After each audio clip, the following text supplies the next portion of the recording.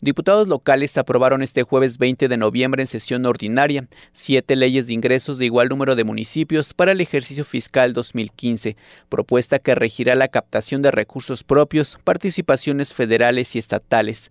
En tribuna, el legislador Ángel Xochitiotzin, vocal de la Comisión de Finanzas, dijo que como lo establece el párrafo segundo del artículo 86 del Código Financiero para el Estado, los ayuntamientos presentaron el último día hábil de septiembre al Congreso su iniciativa de ley ingresos.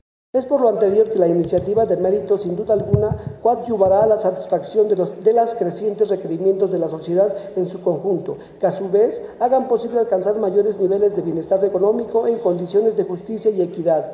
Las leyes de ingresos analizadas fueron de Alzayanca, Cuapiastla, Españita, Nanacamilpa, Huamantla, Zacatelco y Tepetitla del Artizábal, quienes en el ámbito de su competencia estimarán los ingresos que durante un año fiscal deban percibir como lo marca el artículo 80 del Código Financiero para el Estado. Todo ingreso municipal cualquiera que sea su origen o naturaleza, deberá contabilizarse por la Tesorería Municipal y formar parte de la cuenta pública municipal. 1. Por el cobro de las diversas contribuciones a que se refiere esta ley, el ayuntamiento a través de las diversas instancias administrativas expedirá el correspondiente recibo de ingreso debidamente foliado y autorizado por la Tesorería Municipal.